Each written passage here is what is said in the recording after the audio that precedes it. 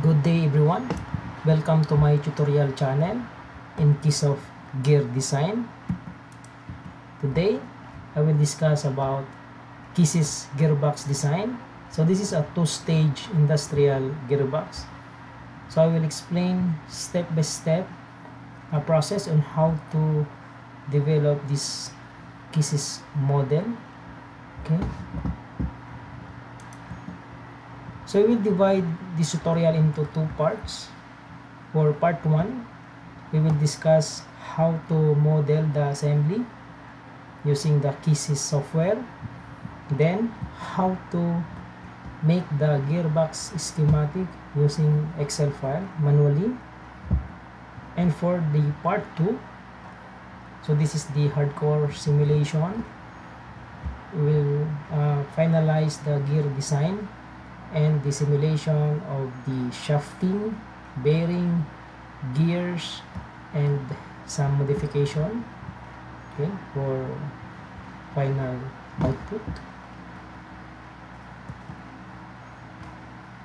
Okay uh, let's start for the part 1 tutorial. So this is our final output actually so this is the simulated one. Okay so for our tutorial I will start from scratch. So we'll make new model. So okay this is the welcome window of Kisses so before we start we need to unlock this icon to use as an admin.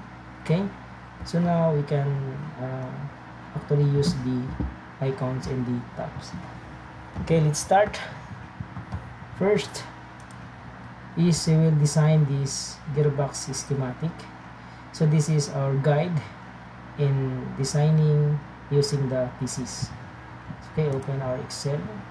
So this is our output an output but I will uh, show you how to do it. So in our Excel we just have to adjust first the column width into 2 okay, to make equal size of boxes. So here we just need to color this box. For example for coupling we will start with the shaft okay. Is our shaft for coupling color red. But you can select your own color guys. Okay. Then for bearing I will use orange. For the gear I will use the two box. I usually use a two box vertical for a big gear. I will extend this one. Then I have to copy the bearing. Okay. then for the mesh of the gear so I can choose violet. Then again the center of the gear shaft then I will copy the gear green. So here for uh, big gear so use two vertical height. For one gear one only. Okay for other gears so two. Then I will copy the bearings.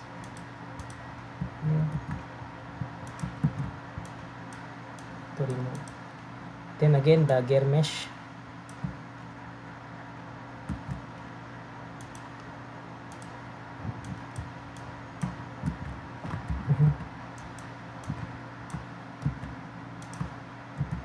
Then the small gear. Then again copy the shaft and copy the bearing. Then again extend this part the shaft then copy the coupling.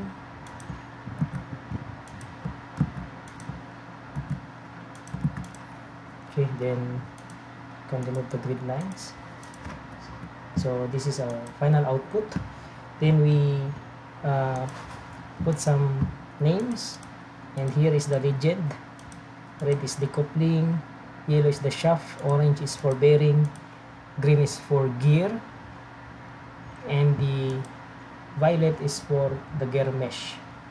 So we have an input here of 18 horsepower and our output speed should be 10 rpm okay.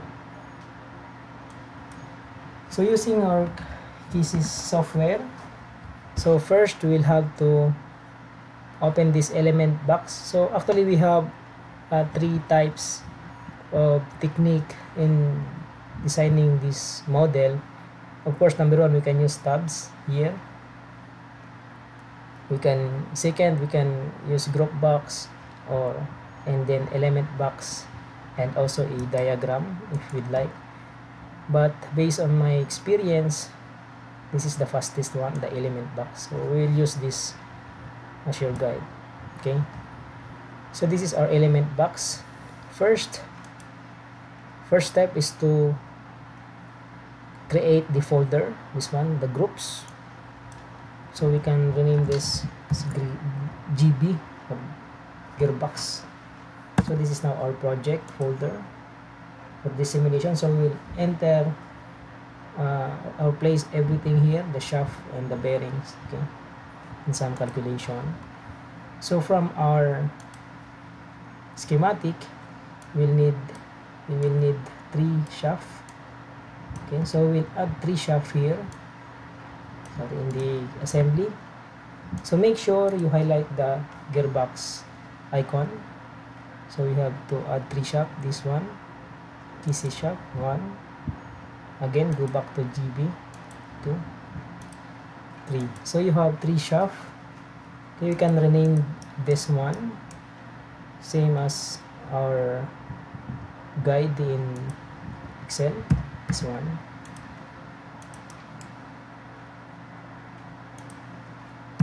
S2 for shaft 2 so on.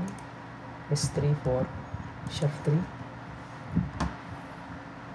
the next so we have three shaft completed. Then for shaft 1 we need one coupling two bearings and one gear. Okay.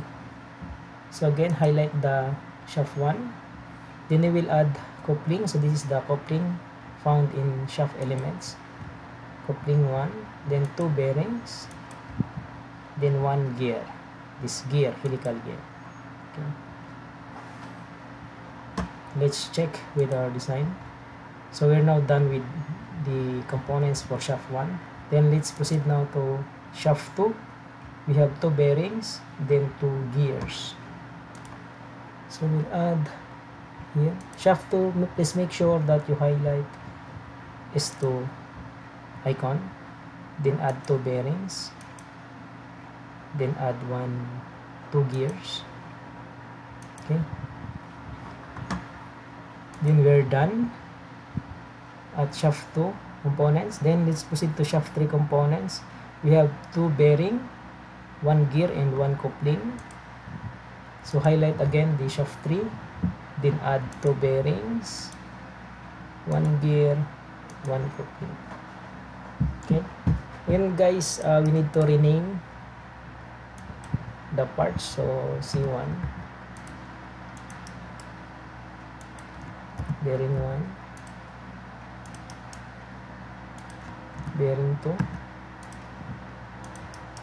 so the purpose of this renaming is that so that the software can simulate uh, faster the project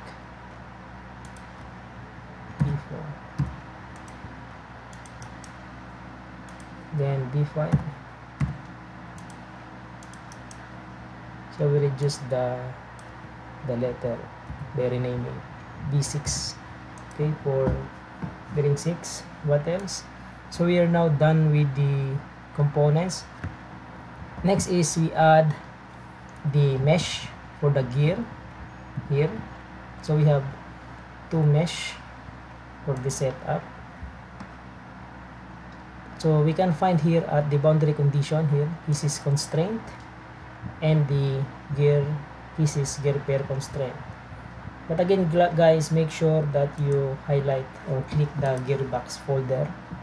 Then we will add here the gear pair constraint so we will rename this z1 z2 meaning the, this is the mesh. This is the mesh for this one. Two gears z1 and z2 then okay then we will select the element the gear 1 and the element gear 2 and we will consider it 100% so that's why this one in efficiency. Okay. So we are done with the gear mesh for the gear 1 and gear 2 next is the gear mesh for gear 3 and gear 4 so again highlight the GB add the pieces gear pair constraint then rename to Z4 oh, sorry Z3 Z4 then select the element Z3 Z4 then we will set to default the efficiency. So we'll now have the two elements connection for the gear mesh. Then we need to add the calculation. So here in this uh, part we have calculation just click this icon. So this calculation uh, will be connected to KISSsoft remember we are now in KISSsys so the connection between the KISSsys and the KISSsoft is this uh, gear calculation. Same with Z3 Z4 we have to add the gear calculation. Okay. Then also we have to add the shaft calculation for the three shaft click S1 add this one piece of shaft highlight S2 add piece of shaft highlight S3 add piece of shaft. And then after doing this we need to uh, define the boundary condition. So for power input which is the 18 horsepower and the power input which is 10 rpm so how do we do it just highlight this uh, top assembly then go to KISSsys speed or force this one then we rename to P input or you can PN power input.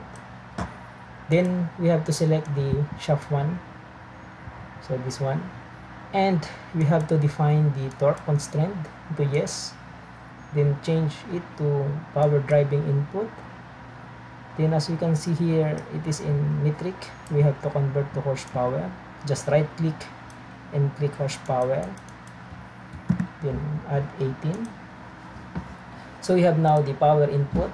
Next is we add also the output condition. So p out. Okay. Then for the element we will select the coupling 2 so sorry guys we didn't rename it. So we have to retain the coupling too. Then our boundary here is the speed which is 10 rpm so we just have to input 10 then okay.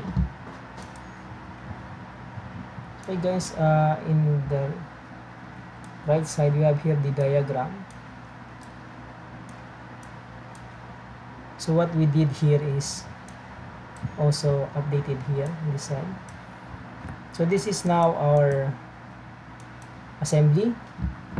Okay we can try to generate if there is no error. So okay. So we're done with our part 1 so we can check. We have three shaft. We have coupling power input power output. Then we have gears. This one okay so we can rearrange. Okay so we have input. So when we have to compare this to our excel file. So the gearbox system schematic. So it should be the same. So we can another one we can convert this solid item into gear shape. So just click this 3d graphics. Then change the representation mode into solid elements. Then click ok. The file will automatic update into 3D then uh, reminder guys uh, sometimes if you simulate here using this play button if you have uh, low memory or slow PC uh, the KISSsys sometimes uh, hang okay? So by my experience I will use I will add this property Keysys 3D view.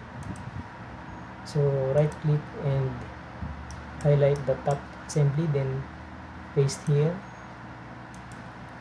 So here in this 3D model